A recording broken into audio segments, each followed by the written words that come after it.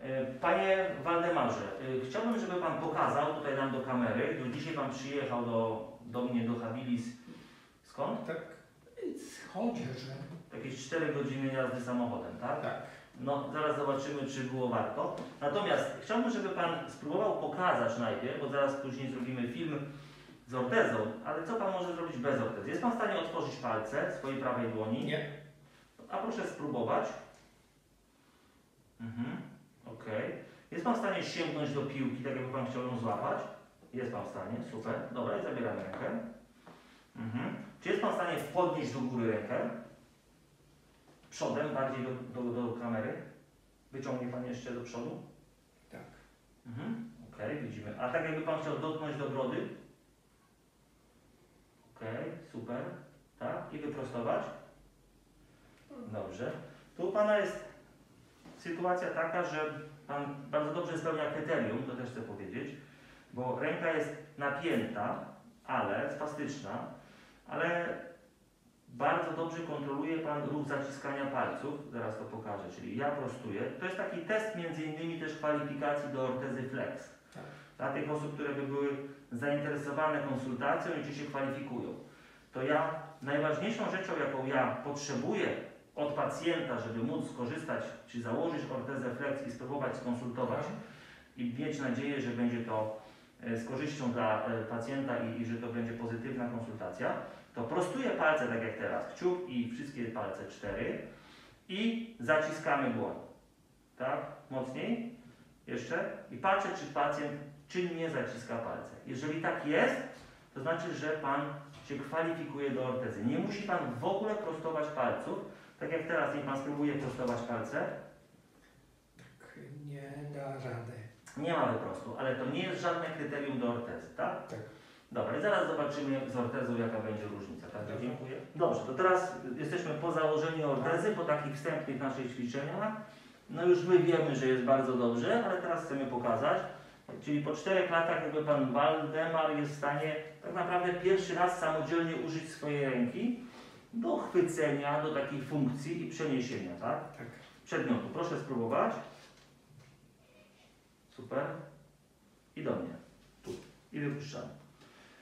Bardzo dobrze Pan kontroluje właśnie ten ruch rozluźniania, może nie otwierania, bo Pan nie otwiera ręki, to co widzieliśmy, ale kontroluje Pan napięcie, czy zmniejsza Pan napięcie w zginaczach, dzięki czemu orteza prostuje palce. To jest świetny taki początek do tego, żeby uczyć się rozluźniać, a de facto w następnej kolejności otwierać rękę. Próbujemy jeszcze raz. Mhm, tak, i łapiemy. Wypuszczamy, dobra. I spróbujemy teraz troszeczkę dalej. Tu patrzymy teraz na łokieć, tak? Czy Pan troszeczkę jest w stanie skontrolować ten wyprost łokcia w dalszej pozycji? Tak, ok, super, tak? I tu do mnie. Wypuszczamy. I oczywiście możemy próbować bardziej takie precyzyjne zadania, czyli Pan bierze z jednego miejsca i przekłada na drugie miejsce, co Tak, wymaga tak, tak. precyzyjnego wypuszczenia piłki. No tak, jedziemy. Jedziemy. Mhm.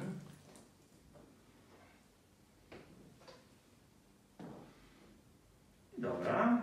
I zabieramy rękę i próbujemy stąd zabrać z powrotem. A, dobrze. Mhm. Tak.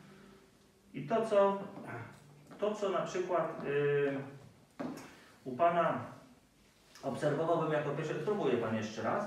To dobra, damy trochę wyżej.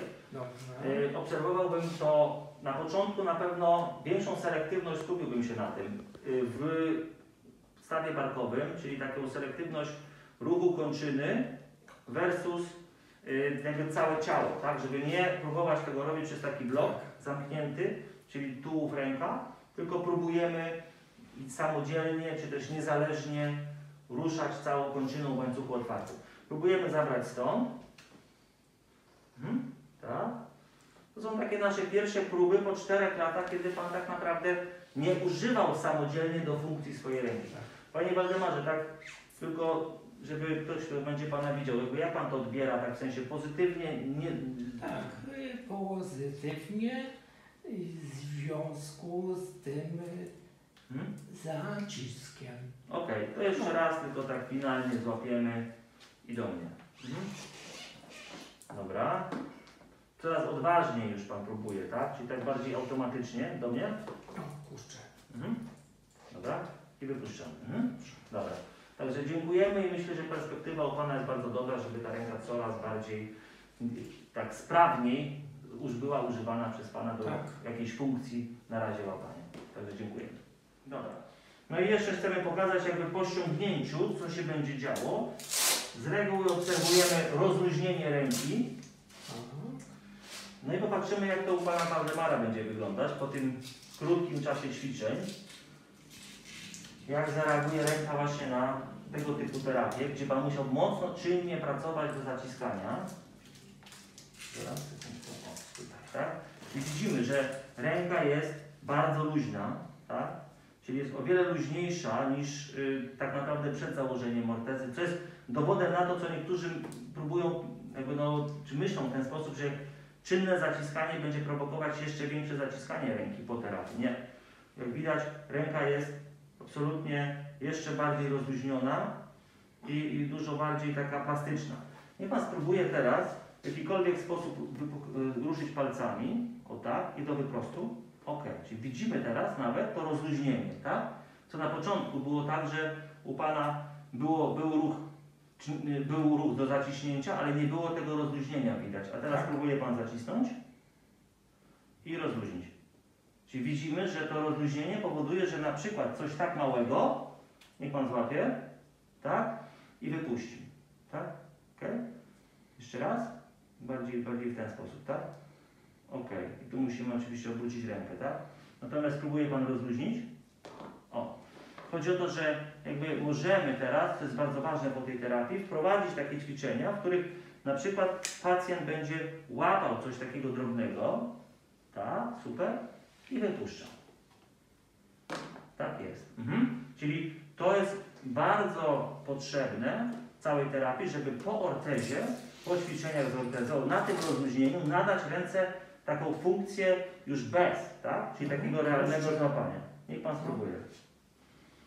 Tak? Super, tak? I wypuszczamy. Świetnie. Hmm? To jest oczywiście drobna rzecz, tak? Ale to jest nieodłączna, można powiedzieć, część terapii ręki. My to robimy teraz tak trochę na pokaz, ale w terapii to byśmy sobie spokojnie prowadzili to wszystko i działali. Ale właśnie chodzi o to, żeby teraz próbować razem. Ja oczywiście pomagam troszeczkę. O. Rotować rękę do środka, czyli nawracać i wypuszczamy.